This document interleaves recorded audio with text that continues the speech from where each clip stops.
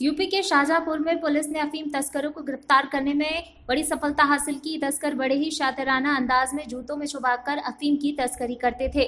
दरअसल थाना कटरा पुलिस को मुखबिर द्वारा सूचना मिली। दो व्यक्ति अफीम की तस्करी करते हैं, जो लाल पेट्रोल पंप के पास खड़े हैं। सूचना पर पुलिस टीम ने मौके पर पहुंचकर घेराबंदी कर लाल पेट्रोल पंप के पास से दो अभियुक्तों को गिरफ़्तार कर लिया। गिरफ़्तार किया अभियुक्त अरविंद और राम बहोरन राठौर के पास से 700 ग्राम अफीम बरामद की। ये तस्कर अफीम के छोटे छोटे पैकेट बनाकर डुप्लीकेट नाइकी के नए जूते खरीदकर जूतों का सोल निकालकर अफीम के पैकेट को जूते के अंदर छुपाकर दोबारा सोल चिपका देते थे। फ़िलहाल पुलिस ने दोनों तस्करों को जेल भेज दिया है। Bureau report, Mohammad Salim Shahjahanpur. कल देर रात थाना कटरा पुलिस को एक अंतर्राज्यीय मादक पदार्थों के तस्कर को गिरफ़्तार कर, उसके साथी के साथ गिरफ़्तार कर, उसके कब्जे से 700 ग्राम अफीम बरामद करने में पूर्ण सफलता प्राप्त हुई है।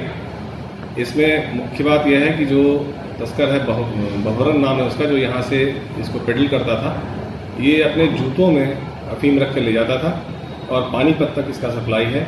पानीपत में इसकी खपत होती है।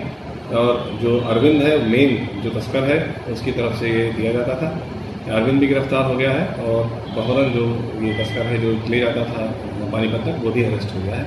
और इनसे बाकी तमाम चीज़ें और जो संगीत साथी हैं, उनके बारे में जानकारी की जा रही है और उसके अनुसार भी कार्रवाई की जाएगी।